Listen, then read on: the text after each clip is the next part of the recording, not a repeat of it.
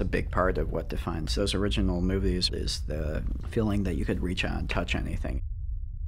Given that, there's a tremendous amount of CG in the movie. And Kevin Jenkins and I designing a, a new walker was kind of our, our white whale. The walker is one of the coolest designs in all of science fiction cinema.